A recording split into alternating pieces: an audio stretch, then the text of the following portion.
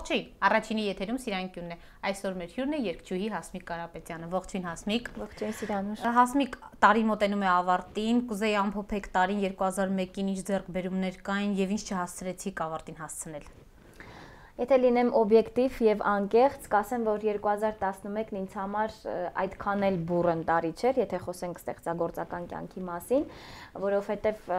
կապված իմ ներքին հիասթափության հետ, երկարվեստի իմաստով, ես այդպես լռել էի, որպեսզի կուտակումներ լինեին, այսինքն մի տեսակ անիմաստացել է ամեն ինչ, չգիտես ում համար ես երգում, ինչի համար ես երգում, ամեն օր ծնվում են նոր երգիչ երգչուհիներ ճակերտավոր, որոնք որ չեն ներկայացնում ոչ մի արվեստ ըստիս, երգերի մեջ չկա ասելիք, չկա գեղեցիկ մեղեդայնություն,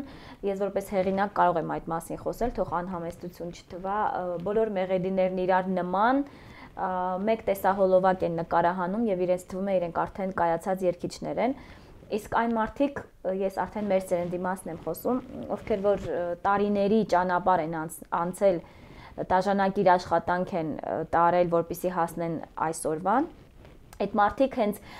մի տեսակ այսպես մի կողմ են քաշվել, ես էլ այդ թվում եւ հենց ուղակի կողքից հետևում են, լավ, ուր է գլորվում երկարվեստը, կապված հենց այդ ամենի հետ ես քիչ հաստատված եմ եւ որոշել էի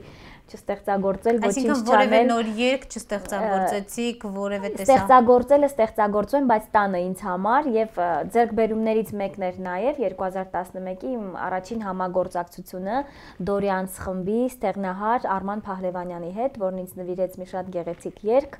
Իդեպ երգը գրել էր 2006 թվականին բանակի ծառայության ընթացքում եւ դեռ ծանոթ չլինելով ինձ մտովի որոշել է որ ես պիտի կատարեմ դա կայացավ, մենք ծանոթացանք, ընկերացանք եւ երգը արդեն ձայնագրվեց, մի քանի տեղերում արդեն երգել եմ։ Սիրուն ասա բարև, այդպես է կոչվում երգը, խոսքերի հեղինակն է Ավետը Բարսեղյան։ Ընդհանուր առմամբ ավելի շատ հաղորդավարական ոնց որ գործունեություն է ծավալում Բարի լույս հայեր ծրագրում Հասմիկ լավ առհասարակ ինչով եք պայմանավորում երկարվեստում ճգնաժամը եւ առհասարակ ճգնաժամը նոր է, որ այսպես անդունդի եզրին ենք, թե ընդհանրապես վերջին 20 տարիների ընթացքում բազմիցս խոսվում է երկարվեստի ճգնաժամի մասին, ինքը ավելի խոր արմատներ ունի գուցե։ Ես կարծում եմ, որ վերջին 7 տարիների ընթացքում հաստատ երկարվեստը այսպես ինչ որ գլորվում է դեպի ցած։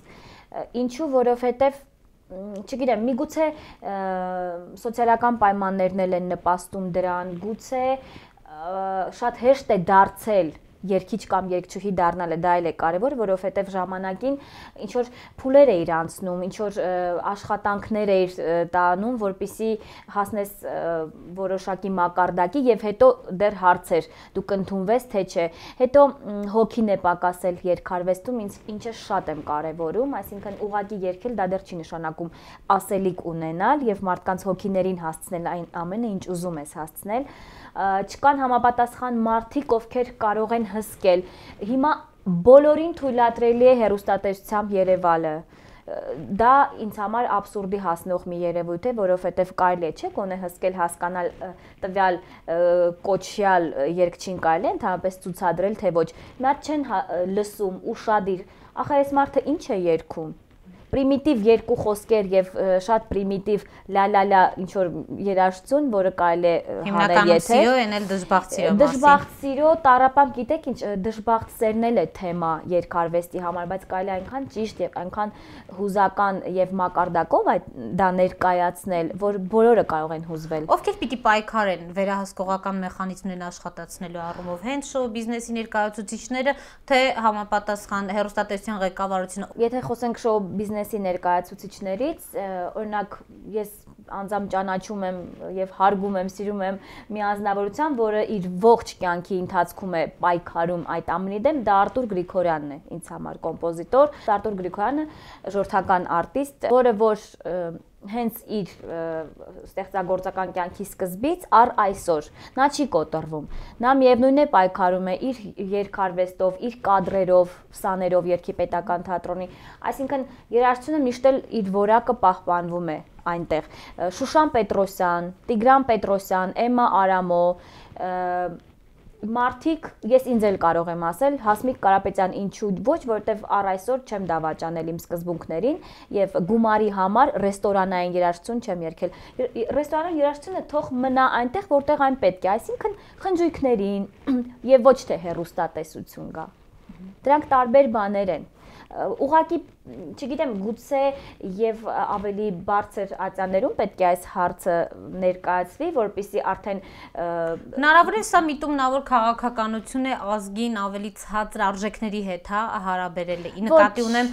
քաղաքականության այն առումով որ որ որքան ցածր է կենսամակարդակը ժողովրդի այնքան հեշտ է վերահսկել արդյոք այստեղ միտումնավոր քաղաքականություն չեք տեսնում ես չեմ տեսնում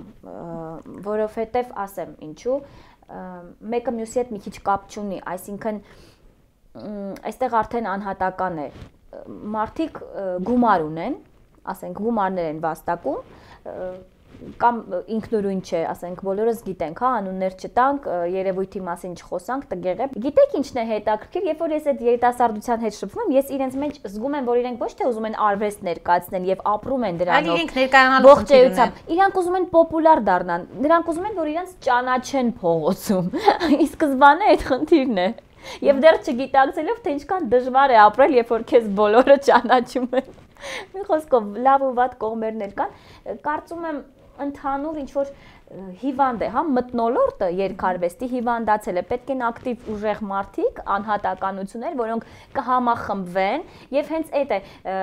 այ համախմբվելն էլ է կարծես մեզ մոտ դժվար հարց դարձել։ Օրինակ մի քանի հոգով կանք, չէ, անդադ բողոքում ենք, ես ինչ է կատարում եւ ես էլ այդ թվում, բայց երբեք չենք հավաքվում։ Առանձին անհատական պայքարիկներ են, բայց որ պայքարի չի վերածվում։ Ամեն մարդ իր հերթին պայքարում է, բան չունեմ ասելու, բայց այդ համախմբվածությունը եթե լիներ, դա մեզ ուժ կտար եւ մենք կկարողանանք փոքր, բայց հեղափոխություն անցկացնել երկարվեստում երկարվեստի հեղափոխության մասին խոսեցիք, կանք ավելի իրական հեղափոխությունից խոսենք, հա։ Բազմիցս խոսվում է, որ մեզ այն մշակութային հեղափոխություն է պետք, արվեստում է պետք հեղափոխություն իրականացնել, որ ամենաառողջը, հա, առանց արյան հեղափոխություններ են պետք։ Ի վերջո ազգը պիտի նորովի ներկայանա։ Վերջին շրջանում հատկապես ակտիվացել են այդ մասին խոսակցությունները եւ խոսում են անգամ այդ մասին այնպիսի մարդիկ, ովքեր երբևէ չեն խոսել։ Օրինակ աշխարհարչակ շանսոնիեն վերջին երկու հարցազրույց զրույցներով ապացուցեց, որ մեզ իսկապես փոփոխություններ են պետք։ Մասնավորապես նշելով, որ երկրում օլիգարխիա կա, տնտեսությունը մոնոպոլացված է եւ երկրում ներքին ցեղասպանություն է տեղի ունենում։ Երիտասարդը չի ուզում մնալ։ Դուք ամեն դեպքում երիտասարդ եք, պատրաստվում եք մնալ այս երկրում եւ արդյոք համաձայն եք աշխարհարչակ շանսոնիայի կարծիքի հետ։ Ուրեմն ասեմ այսպես, նախ նշեմ, որ ես միշտ իմ գիտակցական կյանքի ընթացքում հերու եմ եղել քաղաքականությունից, երկրի քաղաքական դաշտից, ինչու որովհետև նախ ինձ համար մի քիչ բարդ աշխարհ է դպրոցից դեռ ես դա իմ մեջ զգացել եմ մարտիկան, ովքեր ունեն, ասենք, ավելի ճկուն անալիտիկ ուղեղ, իսկ ես շատ հումանիտար մարդ եմ, այսինքն ես իմ ողջ էությամբ արվեստի մեջ եմ ապրում, իմ աշխարհում, որը որ ստեղծել եմ, գուցե եւ պաշտպանվելով այն ամենից, ինչը ինձ դուր չի գալիս, եւ ինչը ինձ վնաս է պատճառում մի քիչ այսպես ինքնամփոփ մարդ եմ ես այդ առումով դրա համար գուցե ինչ որ ընդհանուր բաներով հետաքրքրվել եմ ամբողջ կյանքում բնական է դու մի երկրում ես ապրում եւ չես կարող չհետաքրքրվել երկրովդ բայց հենց քաղաքական դաշտը ինձ համար միշտ էսպես մութ է եղել անհասկանալի շատ հարաբերական եւ այս դեպքում կասեմ միայն մեկ բան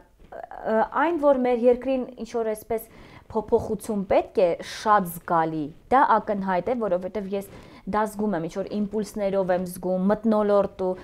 մտնոլորտը շատ փոխվել է ըստիս, որովհետև համատարած անտարբերություն է, անզորություն, կարծես թե մարդիկ, եթե առաջ ցանկություն կար ինչ որ բան փոխելու, եւ մի քիչ էլ երանդ։ Հիմա կարծես թե բոլորս այսպես ապրում ենք ինքնամփոփ մեկուսի գուցե ինքնամփոփ չէ, բայց այսօրվա օրով ենք ապրում, այսինքն չենք պլանավորում։ չկա։ Հա, ինչ որ այսպես լճացած վիճակ է նաև կարծում եմ մարդ ես դա զգացել եմ զուտ էլի եմ նշում մարդկանց հետ շփվելով այսինքն այն երանդեն ուրախությունը մի տեսակ չգիտեմ ուր են կամ ձևափոխվել են գուցե ես չեմ զգում այդպես մեր աշխարհահռչակ շանսոնիայի հետ, ինչպես ասացիք, Շարլ Ազնավուրի հետ ոչ համաձայն են, ոչ համաձայն չեմ։ Նա այն հայրենանվեր մարդն է, որը իրավունք ունի այդ կարծիքն արտահայտելու եւ եթե ինչ որ բան ասում է, հաստատ ունի հիմնավոր ինչ որ պատճառներ, բայց երիտասարդները, հա, ասեցիք ուզում են երիտասարդները այդ ձեր շրջապատում շատ են երիտասարդները արդյոք չեք տեսնում այդ մղումը որ բոլորը ձգտում են դեպի դուրս այստեղ չկա ռեալիզացիայի հնարավորություն հա սովորում են եւ հենց սովորելու տարիներին որոշում են որ պիտի թողնեն գնան ինձ թվում է կա հնարավորություն ուղակի պետք է լավ փնտրել ճիշտ տեղերում փնտրել գուցե եւ ես օրինակ մտածել եմ երբեմն երկրից գնալու մասին, բայց երբ որ ունեցել եմ հիասթափություններ զուտ երկարվեստի հետ կապված, որովհետև թող անհամեստություն չթվա, բայց եթե ես այս ոճի մեջ ստեղծագործեի, ասենք նույն Անգլիայում, ես հիմա շատ ու շատ բաների կհասնեի, որովհետև կարծում եմ, որ ես մատուցում եմ որակյալ երաժշտություն, տարբերվող ամեն դեպքում ունեմ իմ ձեռագիրը որպես հեղինակ կատարող, այստեղ չի ստացվում, հնարավորությունները փոքր են, շատ քիչ են, ինքը շոու բիզնեսը շատ փոքր է մեր աշխարհը եւ չես կարողանում բավականաչափ գումարներ վաստակել քո աշխատանքով եւ ստիպված դիմում ես ինչ որ ուրիշ, ասենք, ելքերի։ Իմ դեպքում ես նախընտրել եմ այո, աշխատել հերոստանգերությունում դա է ցավալի ուղակի լավ կլիներ որ ամեն մարդ իր գործով զբաղվեր եւ նորմալ ապրեր զբաղվելով իր գործով աշխատելով, բայց այստեղ արդեն ուրիշ մի բան է գալիս, չէ՞ որ մենք փոքր երկրում ենք ապրում եւ դեռ կայանում ենք, այսինքն եթե մեզ համեմատենք շատ ու շատ եվրոպական երկրների հետ, բնականաբար մենք շատ-շատ հետ ենք գուցե եւ այս ընթացքը պետք է այս պայքարը իսկ անտարբերությունը նշեցիք որ անտարբեր են եւ ընդհանրապես հասարակությունը անտարբեր է ինչով եք պայմանավորում այդ անտարբերությունը եւ արդյոք չեք նկատում այն անհատները որոնք ատարբեր չեն ու ամեն 5 շաբթի կառավարության շենքի մոտ են կամ պայքարում են հանքարդյունաբերության դեմ կամ պայքարում են որ բնությունը չաղավաղվի այսինքն արդյոք այդ անհատներին չեք տեսնում անհատներ կան որոնք պայքարում են բայց իրենք իրենց ձևով են պայքարում այսինքն ինձ համար այնքան բնական է որ երկրի կայացման ուրեմն շրջանում կայացման ճանապարհին նմանատիպ բաներ պետք է լինեն եւ պետք է լինեն հիասթափություններ եւ պայքարներ եւ ճնշված մարդիկ, ովքեր իրենց ճնշված կզգան, կամ մարդիկ, ովքեր իսկապես ցանկություն ունեն ինչ-որ բան փոխելու եւ դա անում են եւ շատ շատերի մոտ գուցե եւ ստացվում է։ Ուղղակի ինչու զրույցի սկզբում նշեցի, որ ես քաղաքական դաշտից ահագին հեռու եմ եւ ծնված օրվանից եմ հեռու, այսինքն դա նոր չի, որ դրա համար սպառիչ պատասխաններ չեմ կարող հիմա ձեզ տալ կոնկրետ այդ թեմայի շուրջ։ Մենք շատ հաճախ տեսնում ենք, որ շոու բիզնեսի ներկայացուցիչները քաղաքականության հետ լավ էլ սերտ հարաբերությունների մեջ են, մասնավորապես իշխանության հետ նախընտրական շրջան շրջանում մենք տեսնում ենք ոչ միայն իշխանության հետ, հա, այս կամ այն տեխնազոյի հետ գնում են, երգում են, աջակցում են, իրենց աջակցությունն են հայտնում։ Նախընտրական փուլում են գտնվում, եթե առաջարկեն կգնա Հասմիկ Կարապետյանը։ Իհարկե կգնամ ոչ մի խնդիր այդտեղ չեմ տեսնում եւ զարմանում եմ, որ կարելի է արվեստագետին մեղադրել դրանում, քանի որ դու չես գնում ինչ որ այլ բանով ես զբաղվում, դու գնում ես քո երկն ես մատուցում, այս դեպքում ժողովրդին ես մատուցում։ Եթե ինչ որ բանով օգնում ես որոշ մարդկանց, դու դրա համար վճարվում ես, այսինքն եկեք ամեն ինչ իրենց անուններով ասենք։ Դրա մեջ ոչ մի վատ բան չեմ տեսնում։ Ես ազատ մարդ եմ, ես ազատ արվեստի մարդ եմ։ Եթե ես այսօր իմ երկարվեստով կարող եմ գումար վաստակել, ես կվաստակեմ։ Դրա մեջ ոչ մի վատ բան չեմ տեսնում, թող ինձ ներեն այն մարդիկ, ովքեր ինձ հետ համամիտ չեն։ Այսինքն թե իշխանության, թե ընդդիմության ներկայացուցիչները, եթե ձեզ կանչեն, հավասարապես կգնաք։ Սա արդեն շատ անհատական է։ Քո մոտեցումը, քո հայացքները, կարծում եմ դա հարաբերական է ու շատ սուբյեկտիվ եւ ոչ ոք ոչ ոքի մեղադրելու պատճառ չունի, որովհետեւ իրենք ուղակի իրենց գործն են անում։ Յուրաքանչյուր արվեստի մար, եթե գնում է, մասնակցում է ինչ որ նախընտրական փուլերի մասնակցել եք դուք այս տարիների ընթացքում։ Մասնակցել եմ շատ եմ մասնակցել, բազային եմ մասնակցել եւ շատ էլի այլ առիթներով։ եւ շատ գոհ եմ, այսինքն ոչ մի վնաս ինձ դրանից չի եղել։ Լավ, եթե վերադառնանք շոու բիզնես նորից,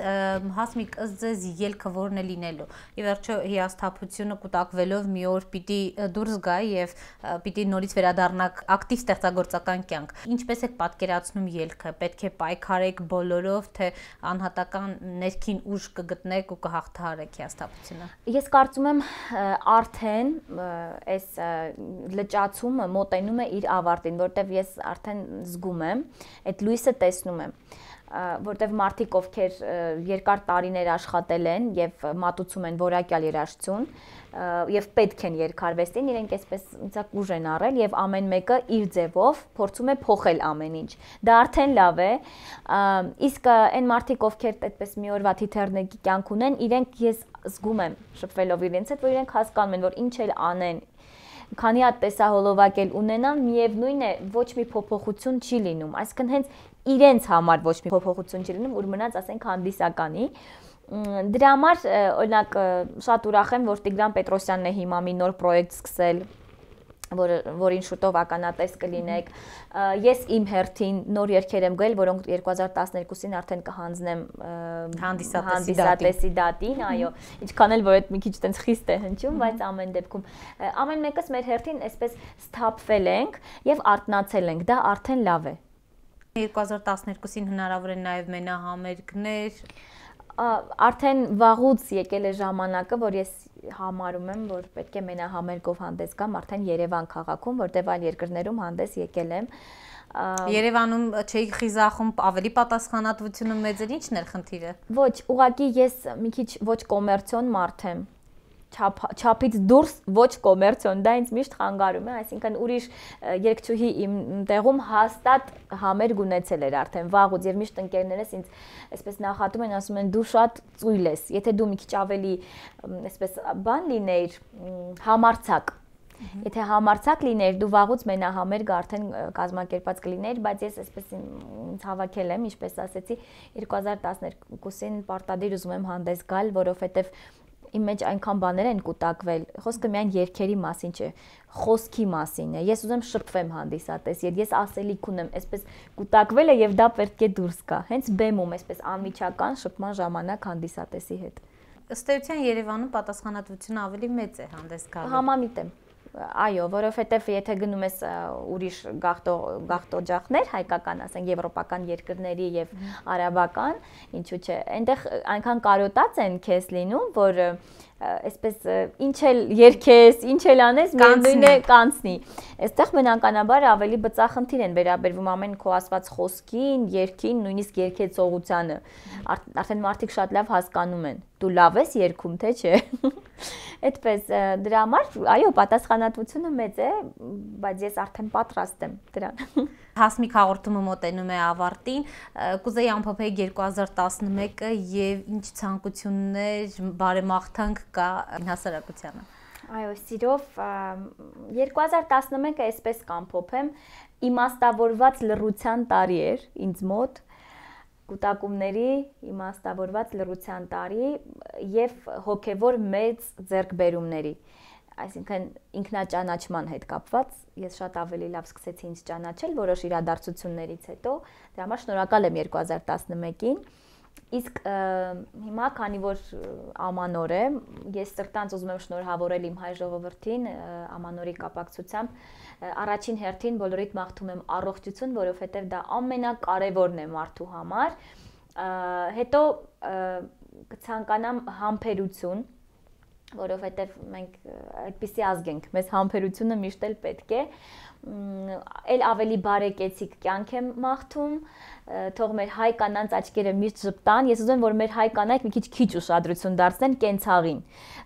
Հասկանան, որ ի վերջո դա չի կյանքի իմաստը եւ անznազոհաբար չնվիրվեն իրենց երեխաներին։ Դա էլ է մաղթում այդ մամայական այդ